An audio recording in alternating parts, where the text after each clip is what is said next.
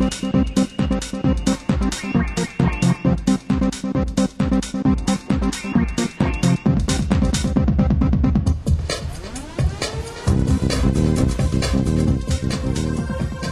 Maths for Real mission for today is to put the funk back into quadratic functions. A quadratic function is a type of mathematical expression, and you need to be able to recognise one and know what its graph looks like.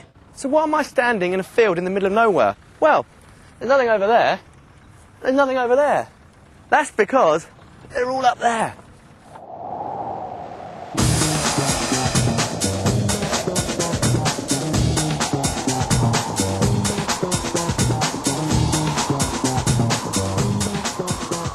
These aerial daredevils are competing in the first Speed Skydiving World Cup.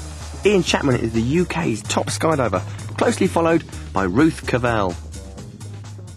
Okay, so tell me, what's the difference between speed skydiving and normal skydiving? Obviously, apart from the word speed.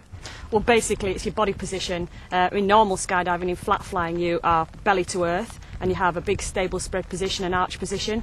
But in speed skydiving, you need to minimise the amount of surface area, so you're pretty much a head down. So, Ian, and this, how does actual competition work then? Competition works basically by a skydiver being timed through a vertical kilometre during the skydive. So, what sort of times it take to do this kilometre? The fast boys at the minute are 250 to 300 miles an hour. You're looking about seven and a half seconds, eight seconds to do a kilometre. Normally, if you if you're belly flying, if you're in a stable spread position, that it would take probably 18 seconds, maybe 20 seconds. So it's uh, less than half the time. That's how fast you're going. Now, the only thing that stops these speed freaks, or nutters as I like to call them, is air resistance. Now, if there was no air resistance, then the time taken and the distance fallen could be linked by this mathematical expression d equals 5t squared. Now, it's a quadratic function where d equals the distance fallen in metres and t equals the time taken in seconds. Now, I can use this expression to get a table of values, and as if by sort of televisual magic, I just happen to have a table of values already prepared for me. And at 0 seconds, d equals 0 metres, obviously. And after 1 second, d equals 5 metres. After 2 seconds, d equals 20 metres. But what about the distance fallen after 3 and 4 seconds? Well, when t equals 3, t squared equals 3 squared, which is 9. And 9 multiplied by 5 is 45. And when t equals 4, t squared equals 4 squared, which is 16. And 16 multiplied by 5 is 80. I can take the pairs of values of t and d and plot a graph. The vertical axis shows the distance d in meters, and the horizontal axis shows the time t in seconds. Next, plot those points.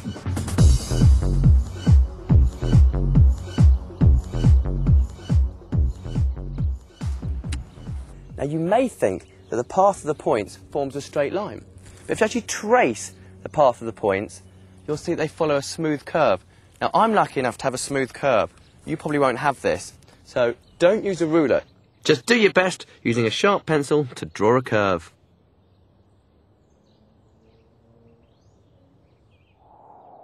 Theoretically, if a speed skydiver really could fall with no air resistance, they'd take just 5.29 seconds to cover that vertical kilometre.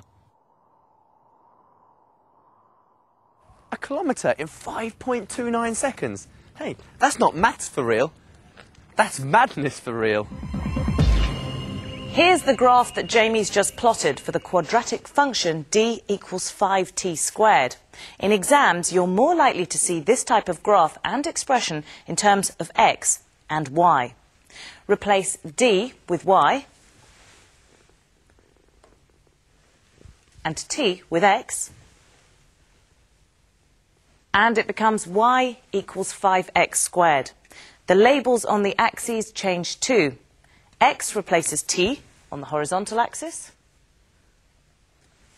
and y replaces d on the vertical axis.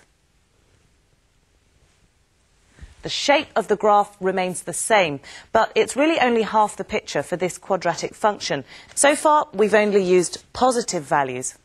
But here is the table of values from negative 4 to 0. I've worked out x squared and multiplied that by 5 to get y. The important thing to remember here is that any negative number squared always gives a positive number plot these values of x against the corresponding values of y and see what happens. The complete picture for a quadratic function y equals 5x squared is a symmetrical bowl or U-shaped curve known as a parabola. There are two key things to recognising a quadratic function.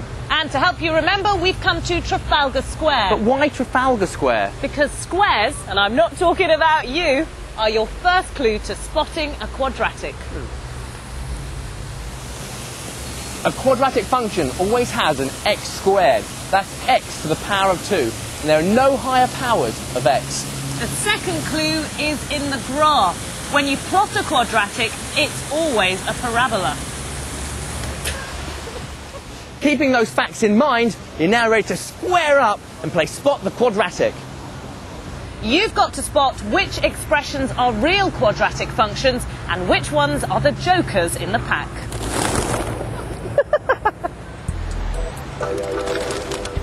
y equals 3x minus 4.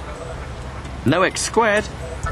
And looking at the graph, not a curve in sight. That's not a quadratic y equals x cubed plus 3x squared minus 4x.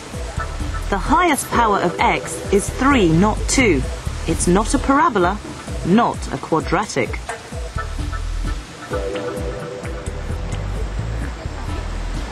y equals 6 plus a half x squared. Ah, at last, there's an x squared. It's a parabola. Definitely a quadratic.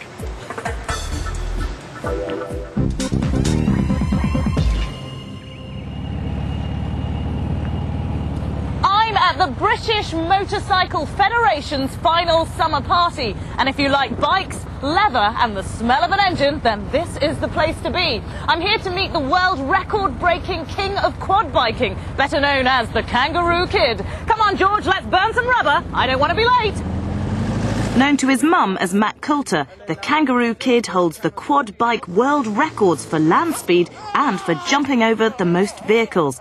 This professional stuntman will jump over just about anything that's put in his path. He's even jumped an aeroplane in flight. What about the most amazing stunt you've ever done? I don't know if it's amazing or stupid, really. I was jumping his paddle steamer boat and I smacked into the top of it. And back with the back wheels and over oh. this somersault lace, and my bike went flying off, and I just somersaulted and landed in the water, big belly flop. So what can you do to make sure that the jump is safe? We need to make sure you've got enough run up to get up to the desired speed and to, to jump over whatever you're going to jump. And the angle of the ramp is most important as well. Yes, son of a... For each amazing stunt, the height, that's how high Matt could go, and the distance, how far he could travel, are actually linked by a quadratic function that looks like this. H is the height in meters above the ramp, and D is the distance that he travels.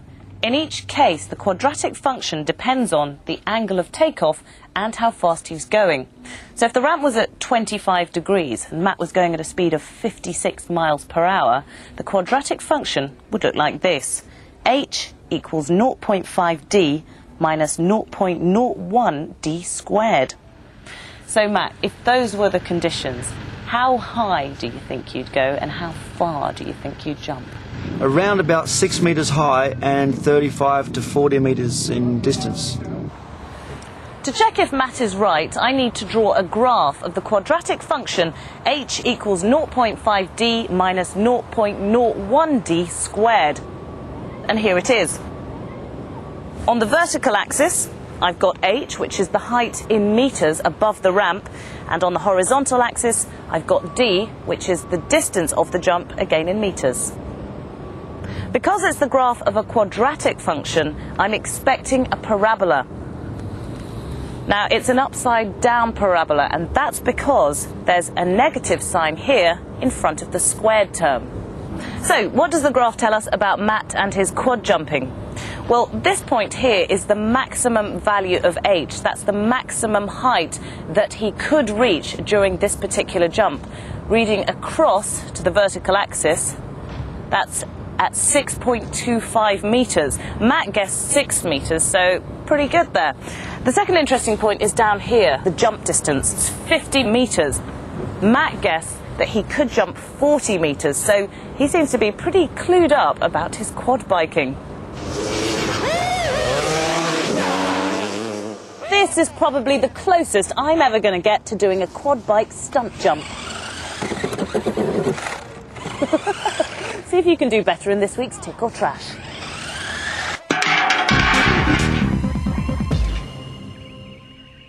It's that part of the programme when we both tackled the same question, but only one answer will be right. The other will contain a deliberate mistake that you've got to spot. So watch carefully to decide if you're going to tick it or trash it.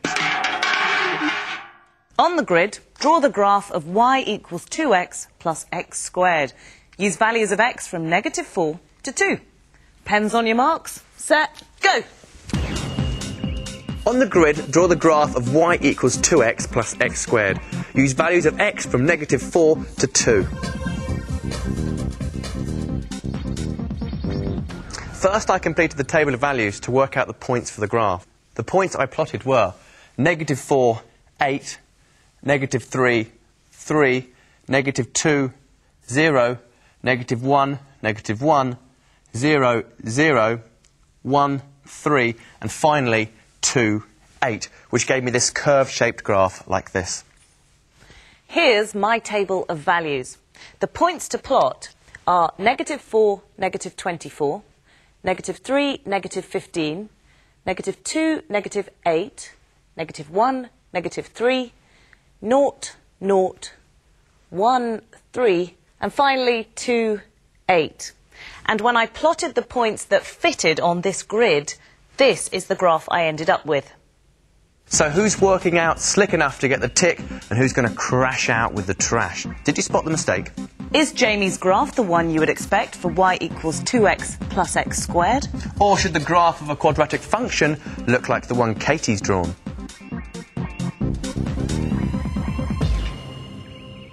OK, the game's up. It's my graph that's wrong. This wonky line is a dead giveaway. I knew something was up as soon as I tried to plot negative 4, negative 24, and negative 3, negative 15, because these points don't fit on the grid I've been given. My mistake was here.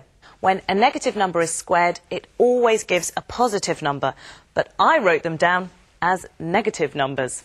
Because these are wrong, the corresponding values of y are also wrong. Remember, the clue is in the expression and the shape of the graph. It's a quadratic function, so the shape of the graph should be a symmetrical U, a parabola like this. This is the way to remember which way up the curve of a quadratic function will be. You can think of the graph for a positive x squared as a happy parabola, and the graph for a negative x squared as a sad parabola.